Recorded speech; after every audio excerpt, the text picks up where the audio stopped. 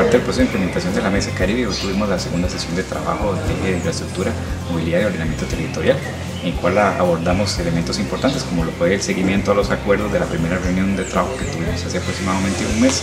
este, destacar el porcentaje de inversión que se tiene dentro de los proyectos del Plan Nacional de Desarrollo e Inversión Pública para la región, lo cual representa aproximadamente un 81% de los recursos totales destinados a esta región para los proyectos regionalizados y el, avance que reportamos también en los proyectos eh, de preinversión que hemos venido trabajando con, con También destacar el trabajo y la rendición de cuentas que hicieron los compañeros de la Caja Costarricense de Seguro Social y de la IA.